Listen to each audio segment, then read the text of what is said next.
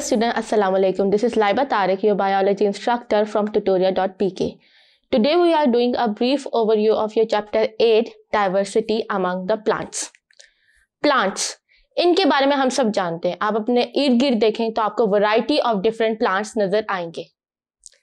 लेकिन, इनका ओरिजन क्या है? ये किस एरा में इवॉल्व हुए?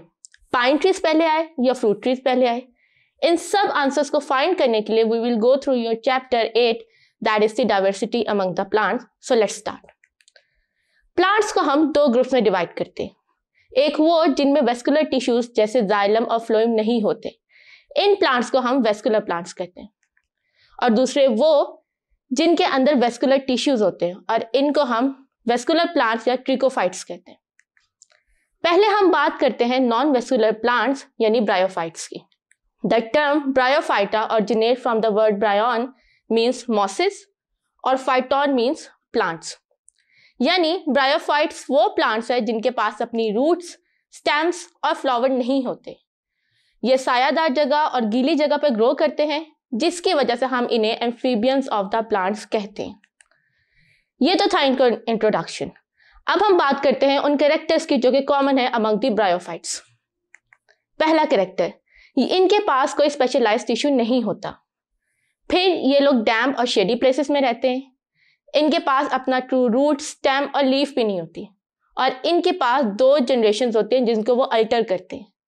एक गेमिटोफाइट जो कि इंडिपेंडेंट होती है और गैमिट्स प्रोड्यूस करती है।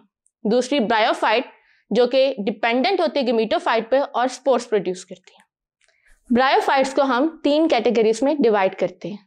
हिफेटिकोप्सिडा एंथोसिरोप्सिडा और ब्रायोप्सिडा सबसे पहले हम बात मोसिस की करते हैं, क्योंकि मोसिस ब्रायोप्सिडा क्लास से बिलोंग करती है।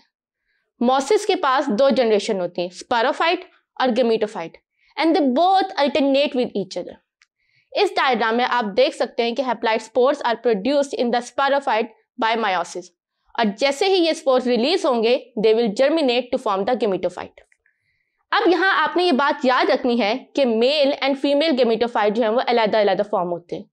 फीमेल गेमिटोफाइट को हम आर्चिगोनियम कहते हैं और मेल गेमिटोफाइट को हम एंथ्रीडियम कहते हैं। मेल गेमिटोफाइट स्पर्म्स प्रोड्यूस करते हैं, जो कि स्पिम करेंगे और जाएँगे फीमेल गेमिटोफाइट जो कि एग्स होते हैं, और उनको फर्टिलाइज करेंगे।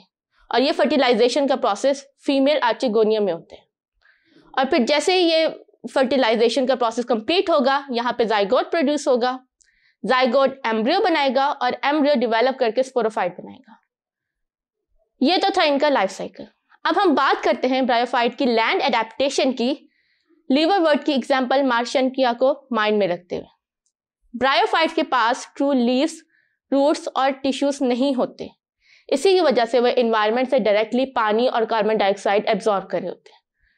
वो कैसे लेते हैं? हम इन पॉइंट को समराइज करते हैं इनटू द फॉलोइंग पॉइंट्स पहली बात जो इनकी बॉडी होती है, उसको हम थैलस कहते हैं। इस थैलस में कुछ फोटोसिंथेटिक सेल्स होते हैं और कुछ स्टोरेज सेल्स होते हैं। फिर इनका जो अपर एपिडर्मिस यानी कि इनकी अपर लेयर के अंदर जो होते हैं, वो पोर्स होते हैं और उसको ओपन होते हैं into the chamber carbon dioxide absorb होता है इसके फोटोसिंथेटिक चैम्बर्स में और फिर वो फोटोसिंथेटिक सेल से एब्जॉर्ब होके वो उनके सेल्स के अंदर चला जाते हैं। इनके पास कोई रूट्स नहीं होती, इसीलिए ये राइजॉइड्स के थ्रू पानी को एब्जॉर्ब करते हैं। इनके पास again two types of gametes produce होते हैं और इनके सेक्स ऑर्गन्स जो होते हैं वो मल्टी सेलुलर होते हैं और प्रोटेक्टेड होते हैं by the sterile cells to prevent the drying और फर्टिलाइजेशन जो होती है वो आर्चिगोनिया में होती है जो कि फीमेल गेमिटोफाइट है। अब हम बात करते हैं सीडलेस वेस्कुलर प्लांट्स की।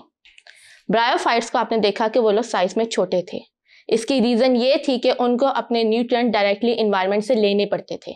और सेकेंडली उनके रिप्रोडक्शन के लिए उनको डिपेंडेंट थे they are on the water फिर प्लांट्स ने एवोल्यूशन की और प्लांट्स ने अपने अंदर स्पेशलाइज टिश्यूज प्रोड्यूस किए, जिनको हम कहते हैं जाइलम और फ्लोइम ये टिश्यूज का काम ये था कि वो वाटर को प्रोवाइड करेंगे थ्रू आउट दी प्लांट और फ़ूड को भी जो है वो डिस्ट्रीब्यूट करेंगे थ्रू आउट दी प्लांट ये अडेप्टेशन लैंड के लिए थे और इसकी वजह से प्लांट सक्सेसफुली लैंड पे ग्रो किए।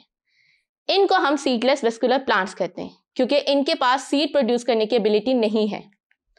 इनको हम इंक्लूड करते हैं सिलॉप्सिडा में, जिसकी कॉमन एग्ज़ाम्पल विस्क फर्न होती है। फिर आते हैं लाइकॉप्सिडा जिसमें क्लब मॉसेस स्पाइक मॉसेस और कुल वॉट होते हैं। देन वी हैव शिनोपसिडा जिनको हम हॉर्स टेल भी कहते हैं। और आखिर में हमारे पास आते हैं पेट्रोपसिडा जिसके अंदर फर्न्स होते हैं और इनका साइज़ छोटे प्लांट से लेकर दरख्तों जितना बड़ा होता है। अब इन सारे ग्रुप्स में से fern are the most successful group वो इतना सक्सेसफुल क्यों बना? उनकी रीजंस अंडरस्टैंड करने के लिए हम इन पॉइंट्स को देखते हैं. अनलाइक द अदर्स इनके पास अपना ट्रू स्टेम और लीव्स थे और इनके गेमिटोफाइट जो थे वो सेपरेट थे स्पोरोफाइट से. और सबसे मेन बात ये कि स्पर्म्स प्रोड्यूस करते थे बाय द वेजिटेटिव रिप्रोडक्शन यानी एक सेक्चुअली भी स्पर्म्स प्रोड्यूस कर सकते थे. ये तो थे इनके फॉलोइंग इंपॉर्टेंट पॉइंट्स के बारे में। अब हम बात करते हैं इनके लाइफ साइकिल के बारे में with the help of the diagram the fertile leaf of the sperm fern is known as sorry जो कि स्पोर्ट्स प्रोड्यूस करते हैं। जैसे ही स्पोर्ट्स फ्लाई करते हैं, ये गेमिटोफाइट को राइज करते हैं। दोनों मेल एंड फीमेल ऑर्गन इसी गेमिटोफाइट पर प्रेजेंट होते हैं। फिर फर्टिलाइजेशन का प्रोसेस होता है, जिससे जाइगोट प्रोड्यूस होते हैं। The zygote develop into embryo और एम्ब्रो डिवाइड होता है टू फॉर्म द स्पोरोफाइट ये स्पोरोफाइट जो होता है स्टार्ट में डिपेंड करता है गेमिटोफाइट पर फॉर देयर फ़ूड और फिर आखिर में ये इनडिपेंडेंट हो जाते हैं. इसके बाद हम एवोल्यूशन ऑफ़ लीव्स को डिस्कस करते हैं. लीव्स प्रिमेटिव वेस्कुलर प्लांट से डिवेलप हुए लेकिन हमारे पास कोई भी फॉसिल रिकॉर्ड नहीं है जो कि इनकी एवोल्यूशन को प्रिस्क्राइब करे या इनके एवोल्यूशन को एविडेंस प्रोवाइड करे. सो so, साइंटिस्ट जो है वो इसको डिस्कस करने के लिए दो थेरीज को यूज़ करते हैं। पहली थेरी है आउट ग्रो हाइपोथेसिस और सेकंड है हमारे पास रिडक्शन हाइपोथेसिस ये तो थी सीडलेस वेस्कुलर प्लांट्स की बात। अब हम देखते हैं कि नॉन वेस्कुलर प्लांट्स में गेमिटोफाइट डोमिनेंट होते हैं। यानी अगर आप किसी नॉन वेस्कुलर प्लांट को देखें तो आप एक्चुअली उसके गेमिटोफिटिक जनरेशन को देख रहे होते हैं। लेकिन वेस्कुलर प्लांट में ये बात ऑपोजिट हो जाती। है इस केस में स्पोरोफाइट जो होता है वो डोमिनेंट होता है देन गेमिटोफाइट यानी अगर मैं इस प्लांट को देखूँ तो ये बेसिकली स्पोरोफिटिक जनरेशन है। ये गेमिटोफिटिक नहीं है। अब हम इन सब में जो सबसे ज़्यादा सक्सेसफुल प्लांट्स थे, वो जिम्नोस्पर्म और एंजियोस्पर्म थे। क्योंकि ये वेस्कुलर प्लांट भी थे और इनके अंदर एबिलिटी थी टू प्रोड्यूस द सीड्स क्योंकि ये सीड्स जर्मिनेट होते हैं to form the new plant ये सीड्स कैसे इवॉल्व हुए? इसको डिस्कस करने के लिए हम एवोल्यूशन ऑफ़ सीड को अंडरस्टैंड करते हैं. एवोल्यूशन ऑफ़ सीड प्लांट्स की डिपेंडेंसी ऑफ़ वाटर को डिक्रीज करते हैं. यानी कि प्लांट्स को रिप्रोडक्शन के लिए पानी पर डिपेंड नहीं होना पड़ता. और सेकेंडली ये प्लांट्स को हेल्प करते हैं अनफेवरेबल कंडीशन को सर्वाइव करने में. यानी अगर due to some unknown reason plants की डेथ हो भी जाती है तो सीड्स जो होते हैं, वे एक न्यू लाइफ को स्टार्ट कर सकते हैं। इस सीड के एवोल्यूशन में प्लांट्स जो था, वो सर्टन लाइफ से, यानी कि सर्टन स्टेजेस से गो थ्रू किया था। इनको हम वन बाय वन डिस्कस करते हैं। सबसे पहले प्लांट्स में हेट्रोस्पोर्स प्रोड्यूस हुए। मेगास्पोर्स जो थे, जो फीमेल गेमेटोफाइट प्रोड्यूस कर रहे थे, और माइक्रोस्पोर जो कि मेल गेमेटोफाइट प्रोड्यूस कर रहे थे। फिर आई evolution of the pollen tube अब ये जो थी, अब पोलन ट्यूब यानी पोलन आपको पता है, ये मेल स्पर्म होता है। और इसका काम ये था कि ये फीमेल, यानी कि ओव्यूल तक, एग तक की इसकी रसाई जो थी, वो सेफ़ हो जाए। बिकॉज़ ओव्यूल जो है, वो स्पोरेंजियम में होता है, जो कि प्रोटेक्टेड होते हैं बाय द टिश्यूज। और उस तक सेफ़ पैसेज पहुँचने के लिए जो है, ये पोलन अपनी एक ट्यूब क्रिएट करते हैं, ताकि जो स्पर्म है, वो डायरेक्टली ओव्यूल तक चला जाए। आखिर में हमारे पास आती है evolution of integument and megasporangium and seeds seed के एवोल्यूशन के बाद हम बात करते हैं उन ग्रुप्स की जो कि सीड्स प्रोड्यूस करते हैं। इनमें पहला ग्रुप जो है वह है जर्मोस्पर्म gymnosperm come from the Greek word meaning the naked seed यानी जिम्नोस्पर्म वो ग्रुप ऑफ़ प्लांट्स है जो कि सीड्स प्रोड्यूस करता है इन देयर कोन्स इनके जनरल कैरेक्टर्स में है कि पहली बात कि ये फ्लावरलेस प्लांट्स होते हैं और ये सीड्स प्रोड्यूस करते हैं अपनी कोन्स में। इनके पास दो तरह के लीव्स होते हैं फॉलियट लीव्स और स्केलर लीव्स और सबकी तरह ये भी हेट्रोस्पोरस होते हैं, यानी दो टाइप के स्पोर्स प्रोड्यूस करते हैं मेगास्पोर और माइक्रोस्पोर और इनकी कोन्स यूनिसेक्चुअल होते हैं, यानी कि फीमेल और मेल कोन्स अलहदा प्रोड्यूस होती हैं।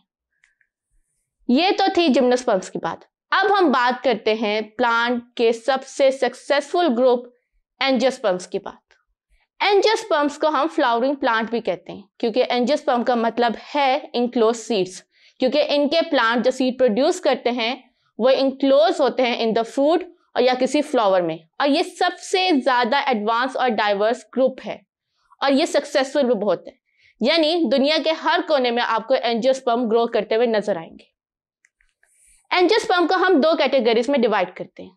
मोनोकोट एंड डाइकोट हमने बचपन से इनके जो है वो डिफरेंसेस और इनके बारे में डिटेल से पढ़ा हुआ है.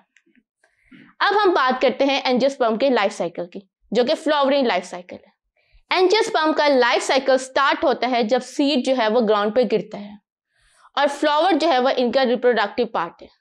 लाइफ साइकिल को अंडरस्टैंड करने के लिए हम इस डायग्राम को गो थ्रू करते हैं. सबसे पहले प्लांट का जो है सीड है वो लैंड पे गिरेगा और वो प्रोड्यूस करेगा स्पोरोफाइट स्पोरोफाइट में मेल पार्ट एंथर्स प्रोड्यूस करेगा जो कि पोलन ग्रेन होते हैं और फीमेल पार्ट ओव्यूल प्रोड्यूस करेगा जो कि एग होते हैं. ये दोनों कंबाइन करेंगे और ये कंबाइन करेंगे by the process known as pollination यानी जब पोलन ग्रेन लैंड करेगा फीमेल स्टिग्मा पे तो इस पार्ट को हम पॉलिनेशन कहते हैं. पोलिनेशन के बाद मेल और फीमेल पार्ट्स कंबाइन करेंगे और इसको हम कहते हैं फर्टिलाइजेशन प्रोसेस इसमें जाइगोट बनेगा और ये जाइगोट जो है वो सीड बना देगा। इस सीड को प्रोटेक्ट करेगा फ्रूट और फिर जैसे ही ये फ्रूट जो है वो सीड को एक्सपोज करेगा सीड ज़मीन पे गिरेगा और ये लाइफ साइकिल दोबारा स्टार्ट हो जाएगा। ये तो था प्लांट्स का लाइफ साइकिल अब हम बात करते हैं इनफ्लोरिसेंस की। इनफ्लोरिसेंस डिफाइंड होता है mode of development and arrangement of the flower on the axis यानी फ्लावर प्लांट्स में किस तरह अरेंज होता है और उनका कौन सा पैटर्न होता है। तीन टाइप की इन्फ्लोरिसेंस आपकी बुक में गिवन है। रेसिमोस इसमें प्लांट जो होता है वो मेन एक्सिस पे एंड नहीं करता, बल्कि आसपास डिफरेंट फ्लावर्स दे रहा होता है और कंटिन्यू करता ग्रो करना। सेकंड है हमारे पास साइमोस साइमोस में आप याद रखिए कि जो प्लांट होगा लेट सपोज़ करें कि ये फ्लावर है। यहाँ पे मेन एक्सिस पे यहाँ पे फ्लावर आके रुक गया। लेकिन इसकी जो लेटरल बडीज हैं, इसमें से मजीद फ्लावर ग्रो करेंगे और वो ऐसा लगेगा जैसे एक फ्लावर का बंच क्रिएट हो गया। This is cymose compound inflorescence में आपको जो इनफ्लोरिसेंस है, वो मेन एक्सिस पे रिपीट होगा वंस और ट्वाइस या तो वो रेसिमोस में या साइमोस में। इसके बाद हम अब बात करते हैं आखिर में एंजियोस्पर्म की सिग्निफिकेंस उनकी इंपॉर्टेंस की। एंजियोस्पर्म मैंने आपको बताया सबसे सक्सेसफुल है, और बचपन में जो हम प्लांट्स के यूजेस पढ़ते आए हैं, वो एक्चुअली हम एंजियोस्पर्म्स के यूजेस पढ़ रहे थे। यानी कि वो दवाइयों में इस्तेमाल होते हैं, उनसे वेजिटेबल्स मिलती हैं, उनसे फ्रूट्स मिलते हैं फाइबर्स मिलते हैं नट्स मिलते हैं सीरियल पल्सेस ऑयल टिम्बर गर्स के इंसान की हर ज़रूरत को एंजियोस्पर्म पूरा कर रहे होते हैं। इसके साथ ही आपके बुक का चैप्टर कंप्लीट हो गया। आई होप आपको मेरा आज का पढ़ाया हुआ टॉपिक अच्छे से समझ आ गया होगा। See you in the next video this is Laiba Tarif from tutorial dot P K signing off take care अल्लाह हाफिज़